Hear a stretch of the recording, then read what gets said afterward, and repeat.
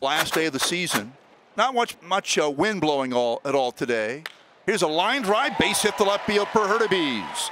He starts off this bottom half of the first with a hit to left. And there he goes. Pitch taken, throw down is not in time. There's number 39 for Hurtubise. Think Yeah. about that. It's not even. Billy probably it by the All Star break.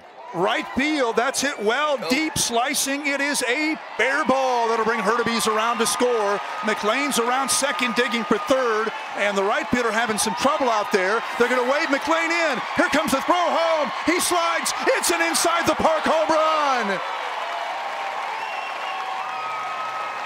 0-1 to Cotton. Line drive. That's a base hit the left field for Quinn. Dragons have their third hit of the inning.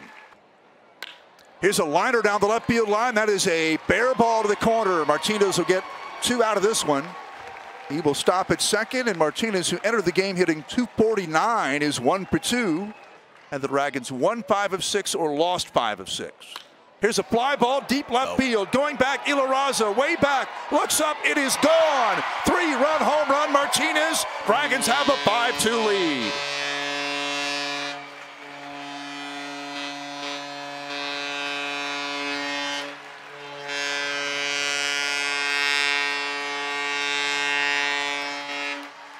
Number seven of the year for Martinez.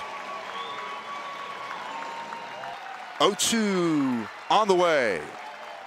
Put this one to the win column. Strike three swinging. Duarte's a strikeout victim. And for the final time in 2021, the Dragons go off the field as a winner.